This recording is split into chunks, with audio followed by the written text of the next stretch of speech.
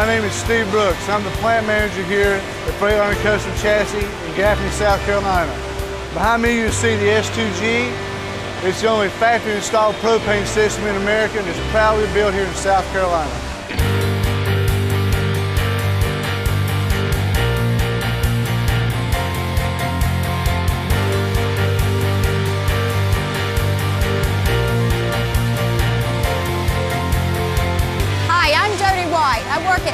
Custom Chassis in Gaffney, South Carolina, team leader for Line 1. Behind me here is the propane tank that is put in the S2Gs. It's factory built here at our plant.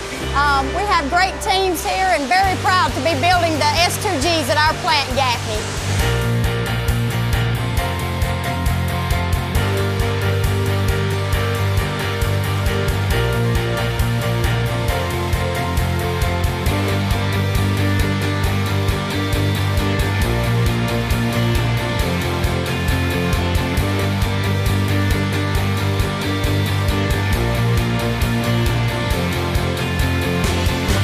Excited about this S2G truck. This engine was purpose built to operate on propane.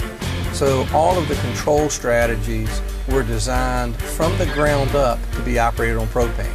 This truck combines the most modern advances in electronics and the controller design along with a liquid injected system. It's just a fundamentally different and improved system from the vapor systems of the earlier 80s and 90s. And we're proud that this engine and that fueling system is inside a Freightliner chassis.